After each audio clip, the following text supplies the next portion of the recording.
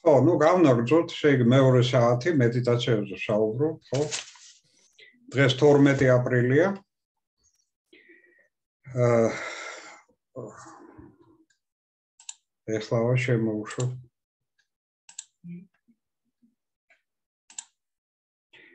აა დიახ,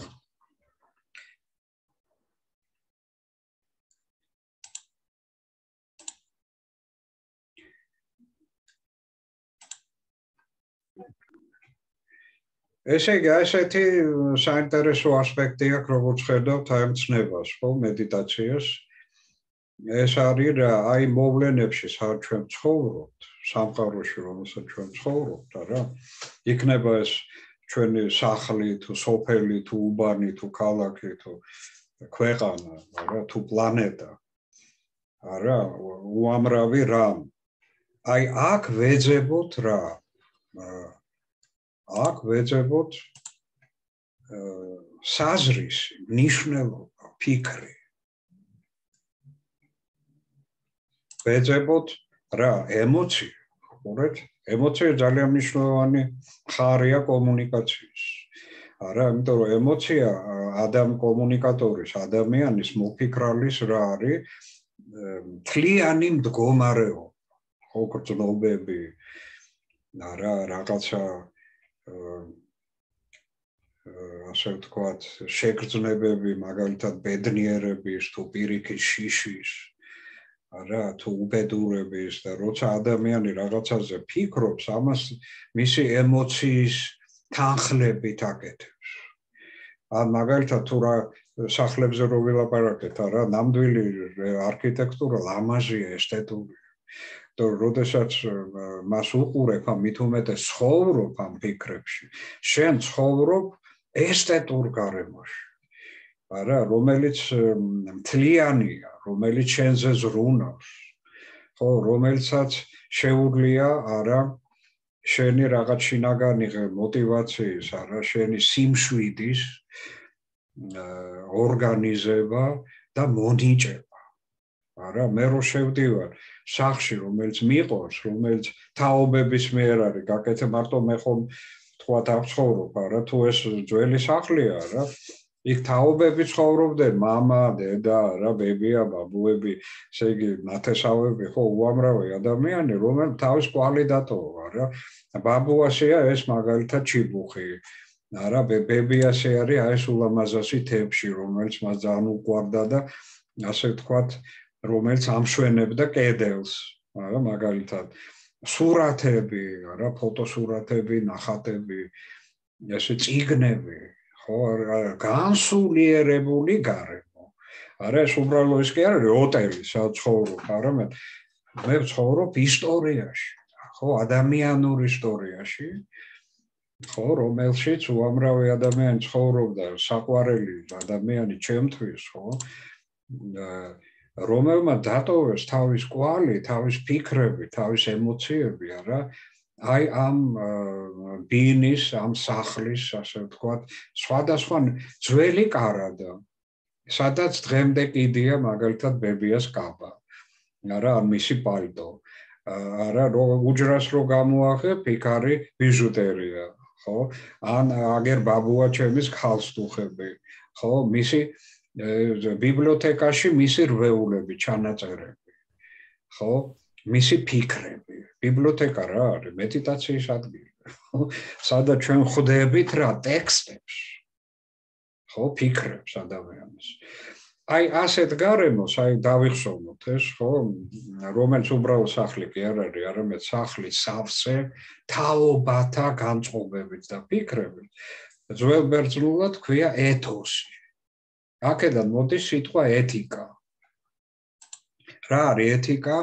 ეთიკა არის ეთოსის შეგრძნება.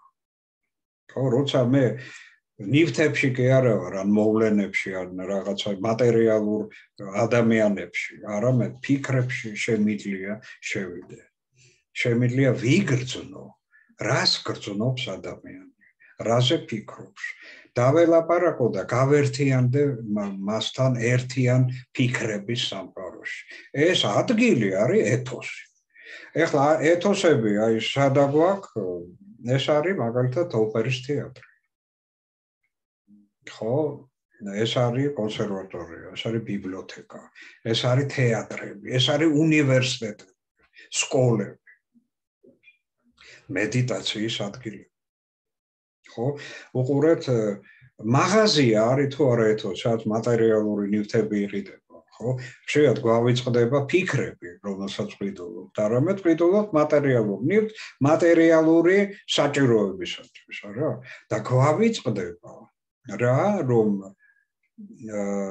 დავფიქრდეთ იმაზე თუ ვინ დგას ამ ნივთების უკან? რა ადამიანებმა შექმნეს, რა განწყობებით შექმნეს, რა мотиваციით შექმნეს. არა თუ მათ მარტო ფული აინტერესებს ჩემგან, რომ ვიყიდო. და ნაკლებად აინტერესებს არა, რომ ვიყიდი და სახში მოვიტან, ანუ ეთოსში შემოვიტან ამ ნიფტს. ხო, რამდენად შეერწყმება ის ეს ნიფტი ადამიანურ გარემოს. ხო? რამდენად ესთეტური იქნება, რამდენად გამოყენებადი იქნება ადამიანური გარემო. თუ მარტო მატერიალურ, ასე ვთქვათ, მატერიალურ მოქმედებისთვის იქნება გამოყენებადი, მაგრამ არა, რა, არა ფიქრებისა და განწყობებისთვის. ასეთი ნივთები არა ადამიანური ნივთებია. ხო? რომელიც აპრიორი შექმნილია არა არა ეთოსში მოსახვედრ არამედ მოსახვედრად რა აბსოლუტურად უსულო მატერიალურ სივრცეში. ასეთი ნივთები შეიძლება გავნოს ასეთმა ნივთებმა. იმიტომ რომ მაგალითად დანა რომელსაც არ აქვს რბილი ხელ რა ქვია და ხელის მოსაკიდი, ტარი, ტარი ხო ტარება, მედიტაცია, მედიტარია. ხო და და შეიძლება ხელი გაგიჭრას და შეიძლება იმდენად უხერხული იყოს რომ გავნოს. ასეთი დანა ეთოსში მოსახვედრი არ არის ხო? ანუ ადამიანური უნდა იყოს გამოყენებადი უნდა იყოს და უსაფრთხო უნდა იყოს. ამავე დროს არა საჭმლის გაკეთების დროს უნდა დაგეხმაროს მოგეხმაროს ხო? ადვილად დაგაჭრევინოს ასე ვთქვა პური თუ რაღაც სხვა პროდუქტია რა და ისე რომ ასე ვთქვათ ამ დაჭრის დროს რა არ არ გაგეკატროს ძალიან დიდი ენერგიის დახარჯვა და ზეწოლის დახარჯვა არ იყოს საჭირო რომ რა ქვია გაგისხდეს ხელიდან და სადღაც მოხდეს. ანუ კომფორტული უნდა იყოს და ერგონომიული და ამავე დროს ეთიკური ხო ადამიანისთვის ადამიანური ეთოსისთვის მორგებად. ხო ასევე ესე იგი რა, ასევე ქალაქი, ხო, ქალაქის ორგანიზაცია, აი მერი, მერი არასაც აკეთებს, ხო? რამდენად ადამიანურია ქალაქი, რამდენად ადამიანურია ტრანსპორტი. რამდენად არის ქალაქი ეთოსი ჩემთვის. რამდენად მელაპარაკება, მესაუბრება ადამიანურ ენაზე, ჩემთვის გასაგებ ენაზე. რამდენად პასუხობს ჩემ ემოციას, ჩემ ესთეტიკას. რამდენად მიწყობს ხელს სხვა ადამიანებთან არა აი ასეთ უაღრესად პოზიტიურ კომუნიკაციაში. თუ არ მიწყობს ხელს მაგალითად რესტორანში შევდივარ და ღრიალებს რაღაცა რუსული მუსიკა. არა რომელიც მაფიქრებს იმაზე რომ მე ორკებში მოვხდი ორკების რესტორანში. სადაც უყვართ რაღაცა ესეთი არაესთეტური უხეში არა და მახსენებენ რა უკრაინას, მახსენებენ რომ ეს ადამიანები, რომელიც ამ მუსიკას უსმენენ და ტკბებიან, არა ხშირად ესე იგი იქცევიან როგორც ხეწები და არა ცალკეული, არამედ მთელი მოსახლეობა, იმიტომ რომ არმია მოსახლეობა. გესმით ხო ეს უბრალო ამბავი არ არის, არა ასეულობით 1000 ადამიანია. იქ რისთვის? რა რა რა დანიშნულია გესმით ხო? აი ასეთი ადგილები, რომელიც ასე ვთქვათ, სადაც სიჩუმე არ არის, სიმშვიდე არ არის, სადაც ადამიანური სივრცე და გარემო ნაკლებია და სადაც ფულის კეთება მნიშვნელოვანი და არა რაღაცა ეთოსის ქმნადობა, ეს უკულტურო გარემოები არის. არა? აი ევროპაში მაგალითად რო შეხვიდეთ კაფეში ან რესტორანში, რა, თქვენ ვერ შეხვდებით აი ასეთ ძალადობას ხმამაღალი მაგალითად მუსიკით.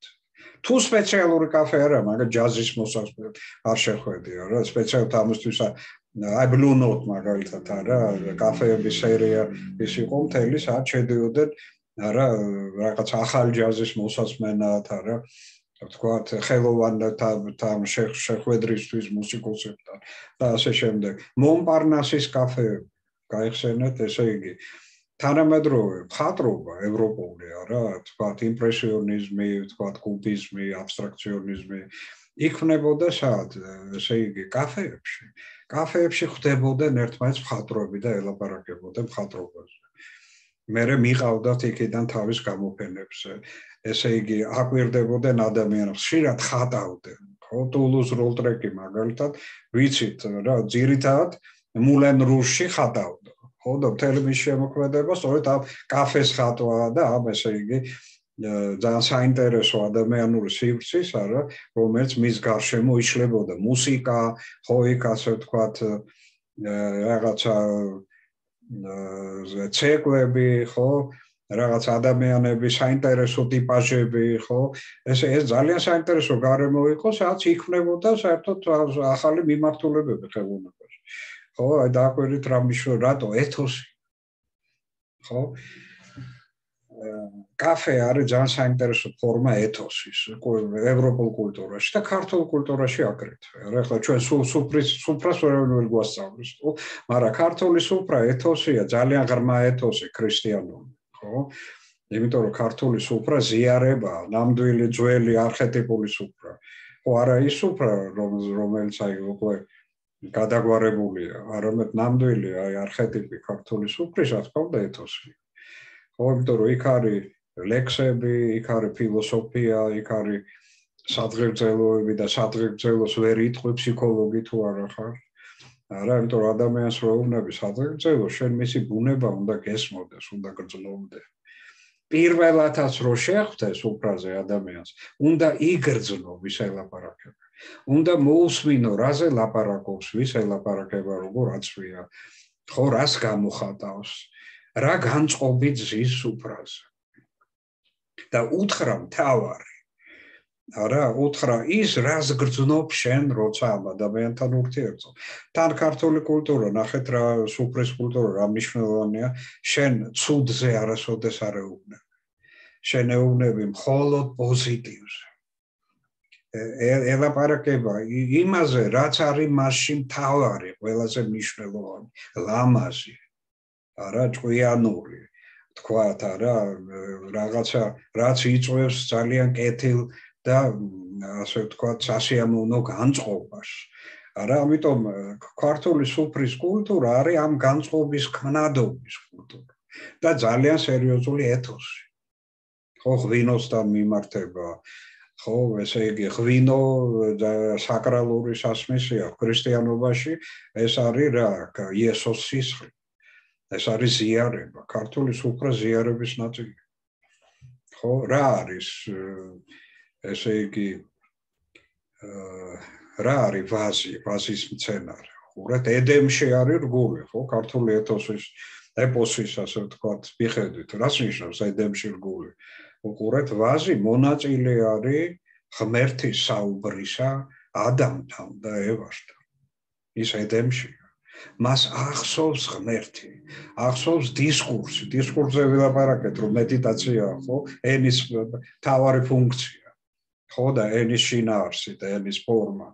ხო ამიტომ ეს არის რა ღვთაებრივი მედიტაციები რომლის მომსწრე არის რა ვაზი. ხო ედემშია და იმიტომ და მისი წვენი არა არის რა ის რაც შენი ნაწილი ხდება ზიარება ეგ არის ხო? ესე იგი როცა ჩვენ ვეზიარებით ვაზის აი ამ ასე დიდ ისტორიას რომელიც ედემიდან მოდის და მისის ესე იგი წვენი არა ღვინო ჩვენ გვიყვება არა და რაღაც განწყობებზე გვაყენებს, ვინც იცის ურთიერთობა ვასთან და ვისაც უყვარს ვაზი და არა ლოთთან, ხოლოდ სხვა კატეგორია. ესე იგი, ნახეთ რა ხდება ამ დროს ჩვენ ვეზიარებით რაღაც საკრალო, არა, მცენარის ესე იგი, აი წვენს რომელიც თავის ფიქრებს შლის ჩვენში. გვახსენებს აი ამ დიალოგს, ედემში გადავყავართ და რაღაც უღრმეს თემებზე რა, ადამიანის დაბადების, სიცოცხლის, არსის, არა სიყვარულის, კეთილშობილების, არა ღვთაებრივი კონცეფციის სამყაროს, სამყარო ღმერთის მედიტაცია. და ჩვენ ცხოვრობ პირველ რიგში ღმერთის მედიტაციებში, რა და ჩვენ მედიტაციებში ცხადია ადამიანებს, რა, მაგრამ პირველ რიგში სამყარო ღვთაებრივი მედიტაცია. არა, ამიტომ მისი ესთეტიკა. ხო პატარა ყვავილი როიზდება ულამაზესი და იმას ვაკვირდებით ბუნებაში რა მედიტირებთ ყვავილის და მის სუნს გძნობთ რა ვის ვინა ვისი ფიქრებია ყვავილი ну რა თქმა უნდა ალბათ თვითონ ყვავილის ფიქრები მით უმეტეს თუ ეს ყვავილი ადამიანია ედემში რგული არა და ლამაზია და სურნელოვანი როგორც ჩვენი ქალები ქართველები რა მაგრამ მაგრამ ესე იგი რეალურად უყურეთ ვისი შემოქმედება ვისი ფიქრები არის პატარა ლამაზი ია რომელიც გაიზარდა ეხლა იების პერიოდი იწყება რა თქმა უნდა ღმერთის. მეცი მედიტაცია მისი ესთეტიკა მისი ექსისტენცია ხო ამიტომ ექსისტირება იაზე და ექსისტირება ქალზე და სილამაზეზე არის უღრმესი ფორმა ექსისტენტურ სილამაზე ღმერთის შექმნილი. ესთეტიკა არის მისი შემოქმედება ღმერთის, რომლის გარეშეც არაფერს აზრი არ აქვს. ხო, რომ ჩვენ ხედავთ, ხო, რომ ჩვენ მახინჯ სამყაროში ვცხოვრობთ. სადაც რა დაიკარგა სილამაზე. ხო, ჩვენ უნდა ვიპოვნოთ სილამაზე. ამიტომ გვიყვარს ხო პოეტები, ჩვენი გიჟდებით. კომპოზიტორები, ხო, მხატვრები. რატო? იმიტომ რომ ეს ხალხი ემსახურება რაღაც ძალიან ადამიანურს, ძალიან ღვთაებრებს ამავე დროს, ხო? ესთეტიკას და რა, ესთეტიკა უბრალოდ რამე არ არის, უბრალოდ ესთეტიკა ის არის, რაც გვამთლიანებს. სილამაზე არის მთელი. სადაც არაფერი ზედმეტი არ არის, ყველაფერი ერთმანეთთან ორგანულ კავშირში. არა, საქართველოს დაიყო სამნაწილად. თლიანობა დაიკარგა. არა, მახინჯია რუკაზე რო უყურებს იმახინჯა ხათი. ხო? ესე იგი ეს მთელი მარტო გეოგრაფიული მთელი კი არ არის და რუკაზე დახატული და ადამიანური მთელია, იმიტომ რომ ჩვენ სამშობლოს ნაწილი მოგვლიჯეს. თლიანობა დავკარგეთ. ამიტომ დევნილი ადამიანები არა არიან რა, აი დაკარგული და შინაგანად აი თითქოს რაღაცა მათი ნაწილი არა არის მოგლეჯილი ხო სულის ნაწილი.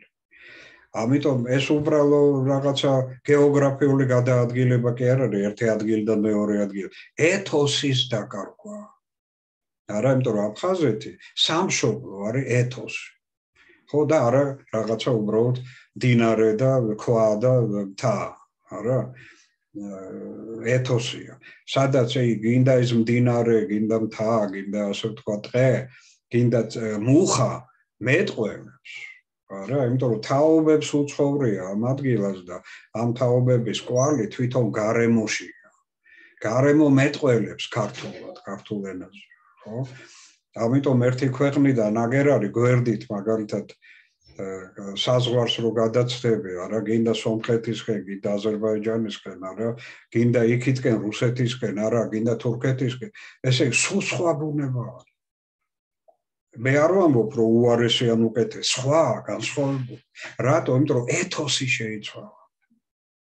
ამიტომ უყურეთ ადამიანის გაცნობა და ურთიერთგაცნობა რა არის რა ეთოსში შესვლა ურთიერთ სახში დაპატიშება ხო, როდესაც ის შენ სადღაც ქუჩაში კი არ ხვდება, ან სასტუმროში, არამედ პატიჟებს საკუთარ სახში. არა და იგიშლის სუფრას. არა სახში, სადაც ყველაფერი არის მეტყველი. ხო? მისი ისტორია მოცემულია ნიფთებში. არა კედლის ფერში, ნახატებში, ხო?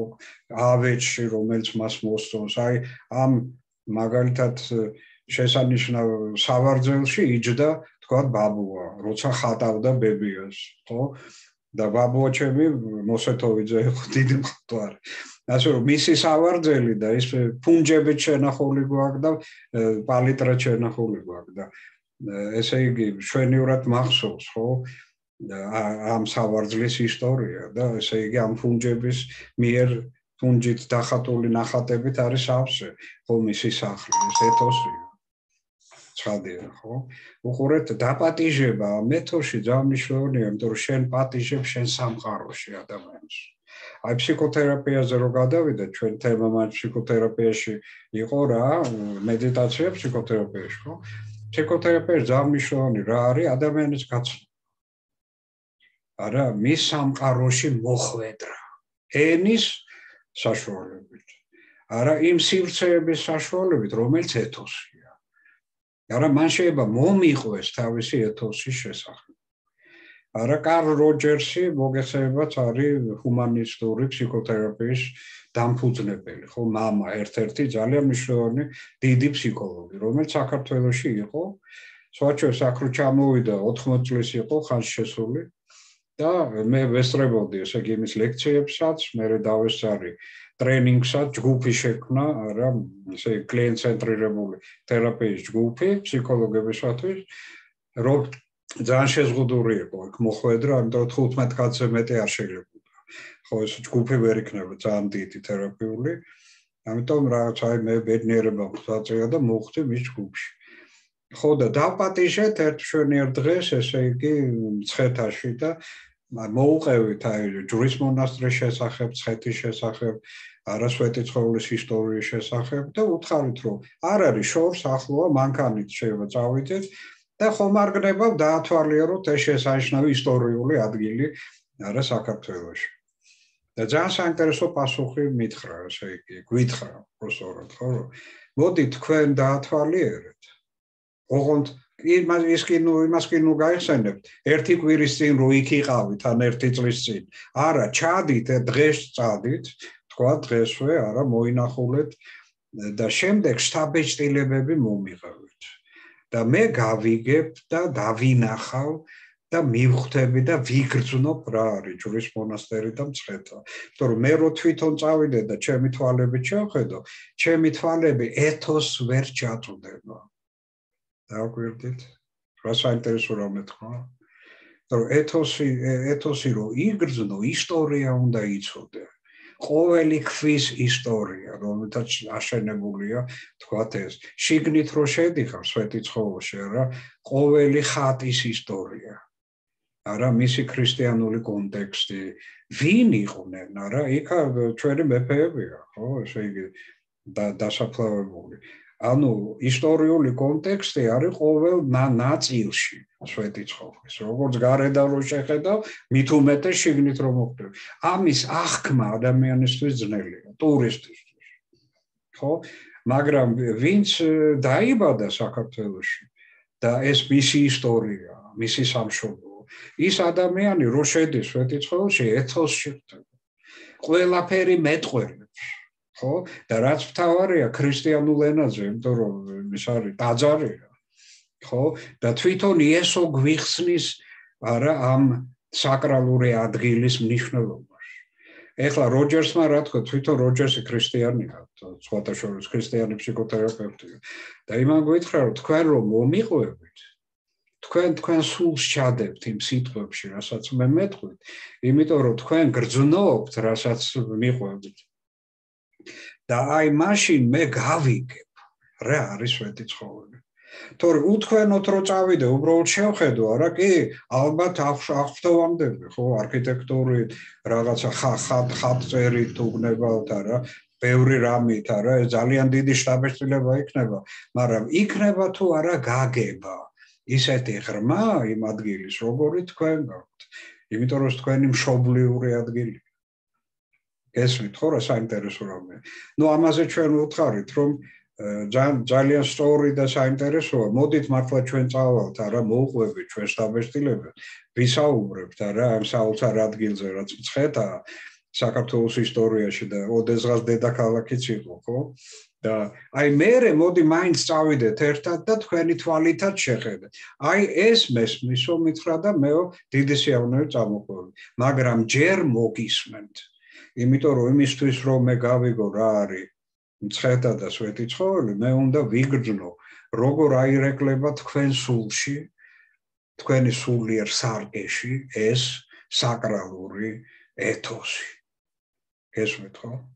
ამიტომ ძალიან დიდი მნიშვნელობა აქვს დაპატიჟებას ადამიანის არა და შემოყვანა შენ სამყაროში.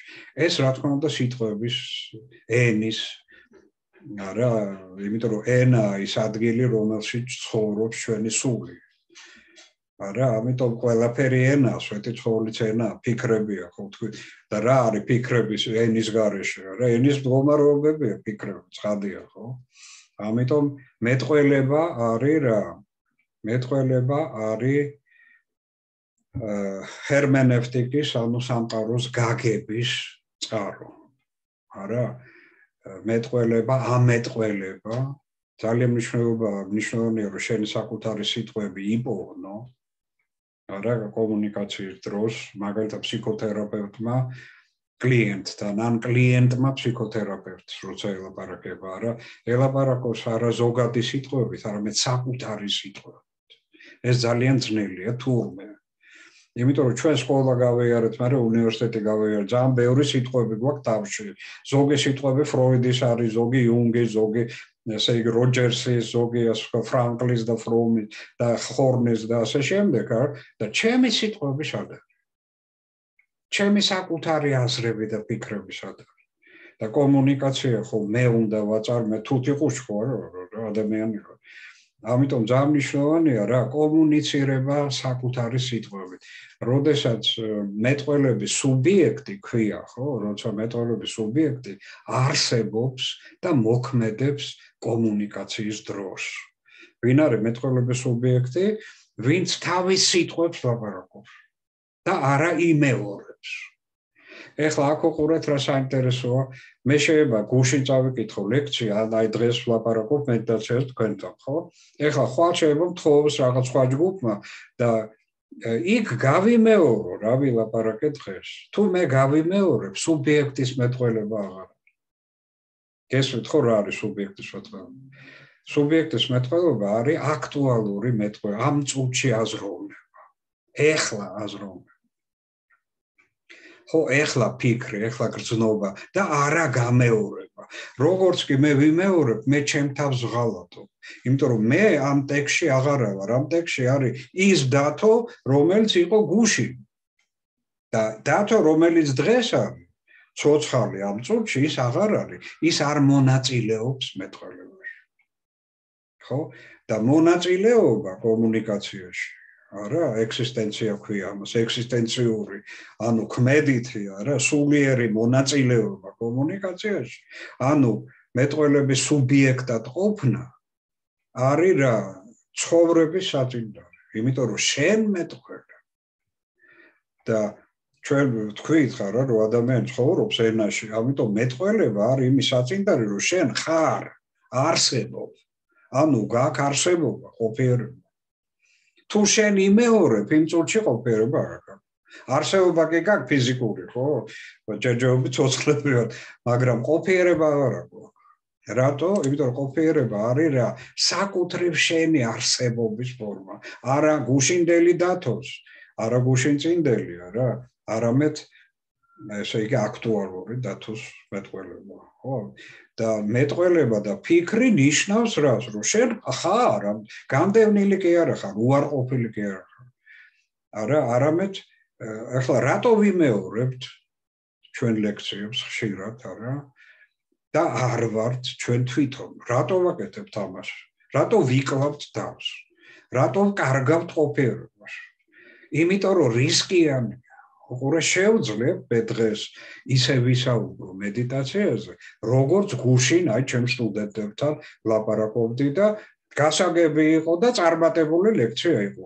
არ ჯობია მე დღეს წარმატება გავიმეორო, ვიდრე რაღაცა შემეშალოს არა რაღაცა ვერ გავიაზრო ამ წუთში არ ჯობია კარგად დაალაგებული სიტყვები გავიმეორო და გავანებო თავი ახლა ამ წუთში აზროვნება არა იმიტომ შეიძლება აბლუკობდე არა ამ წუთში აზროვნება ნიშნავს იმას რომ სიტყვების ძებნას დაიწყებ ხო რაღაც ემოციის დაკვირვებას არა ნელა დაიწყებ ლაპარაკს იმიტომ რომ უნდა მოიფიქრო უნდა გაიაზრო ამ წუთში არა არ ჯობია ელაპარაკო ეფექტურად, სწრაფად, ასე ვთქვათ, ლამაზად, ესთეტურად, გასაგებად და იმეორო. ანუ ასე ლაპარაკობენ ვინ? თეატრში ლაპარაკობენ მსახიობები. ისინი თავის სიტყვებს ხო არ ამობენ, რაც დაწერილია, ხო? როლს როლს როლ სიტყვებს, როლ ტექსტებს ამბობენ, ხო? მაგრამ უყურეთ იქ თითქოს დიალოგია, მაგრამ ეს დიალოგი არის საუკუნის წინ დაწერილი შექსპირის მაგალითად, და საუკუნე მე-16 საუკუნეში, ხო, დაწერილი იყო და დღეს იგივე ტექსტი იდგმება, ესე იგი, არაფერ ახალს არ ლაპარაკობენ. არა, რამდენჯერ ასეულობით და ათასეულობით გამეორებულა ეს ტექსტი სხვადასხვა სცენებზე. ხლა ახალ ტექსტს ხო არ დაწერს სახიობ. უნდა ილაპარაკოს, რაც ასე ვთქვათ, არის მის იმაში, რა. მოცემული დრამატურგიულ, ასე ვთქვათ, ტექსტში. მაგრამ უყურებ სახეობის როლი რაშია ამ ტექსტისადმი დამოკიდებულებაში. აი თუ მე დღეს რაღაც აღმოვაჩინე ამ ტექსტში, თუ თავიდან გავიაზრე, თუ მე ვცხოვრობ ამ ტექსტში დღეს, კი არ ვიმეორებ მოძრაობებს, მიმიკას, ჟესტიკულაციას, როცა ვლაპარაკობ იმ ტექსტს. არამედ მე ვარ ესე იგი რა ცოცხალი როცა ამ ტექსტ შექსპირის ტექსტს ვაპარაკო და მნიშვნელოვანი ტექსტები ხო უკვდავია და უსასრულო. ბიბლიას რო კითხო ასჯერ რო წაიკითხო სრულიად სხვადასხვა ახალ შინარს იგებ რატო ცოცხალი ტექსტია გენიალური ტექსტები ცოცხალი ტექსტები ხო და იმად გამეორებას აზრი არა გამიტომ თავიდან წაკითხო კი, მაგრამ არა გამეორება. ამიტომ კარგი მსახიობი ტექსტ კითხულობს თავიდან და არა იმეორებს გუშინ ნათამაშებ როლს. მსახიობიც კი, არა? რა გვაკლია ჩვენ საქართველოში? აი ახლა თანამედროვე ასე ვთქვათ ეპოქაში სუბიექტის მეტყველება. ჩვენ ვიმეორ იმას, რაც ითქმის კრემლში. ჩვენ ვასრულებთ იმას, რა დაოლებებსაც ვიღებთ სხვა ქვეყნიდან. ესმეთ ხო, ჩვენ ვართ უნიჭო მსახიობები. იმიტომ რომ ჩვენ საკუთარი არაფერი აღარ აგვაქვს და ჩვენ ყოფიერება დავკარგეთ. არსებობა კი გვაქვს. ყოფიერება რა არის? საკუთარი სიტყვები, საკუთარი აზროვნება, საკუთარი განცდები. ხო? ეხლა უყურეთ ეხლა უცნაური რამე ვთქვი, არა საკუთარი განცდები როგორ, აბა ვისი განცდებია, მე როგორ გძნობ. წარმოიდგინეთ, რომ ჩემი განცდები შეიძლება ჩემი არ იყოს საკუთარი, შეიძლება სუბიექტური განცდები არ იყოს. მაგალითად, როდესაც სახიობი თამაშობს როლს და განიცდის როლს, ეს განცდა წერია დრამატურგიაში და დგამს რეჟისორი, რომ შენ ესე უნდა განიცადო. ხო? კარგი მსახიობი თვითონ გამიცდის. ამიტომ მისი როლი ყოველთვის ახალია. მაგრამ განცდის გამეორება შესაძლებელია. ხო? ჩვენ ყველას გძულდა სვიად გამსახურდია. არა? და გვიყვარდა ედვარდ შერნი. ამ პირიქით. ხო? შეიძლება ყველას ერთგივე განცდა კონდეს 3 მილიონ ადამიანს, და თქვა რაღაც მილიონ ნახევარს თუნდაც, რა, არა, ხო? ეს არ არის ჩემი განცდა. ეს არის რაღაც პოლიტიზებული ემოციების სამყარო. არა, შემიძლია მე თვითონ განვიცადო რა ხდება უკრაინაში. თუ უნდა ჯერ დაუგდო ყური, თქვათ როგორ განიცდიან ამას ვიღაცა ავტორიტეტული ადამიანები, ქართველები თუ სხვები არა და შემდეგ აა ნახე რა რა კარგად თქვეს. და მეც განვიცადო იგივე. არა, ეს განცდის გამეორება იქნება. მე შეიძლება მიუერთდე განცდაში, მაგრამ მიერთება არ ნიშნავს, რომ ჩემი განცდა. ნახეთ, ამ განცდას არ აქვს ყოფიერება.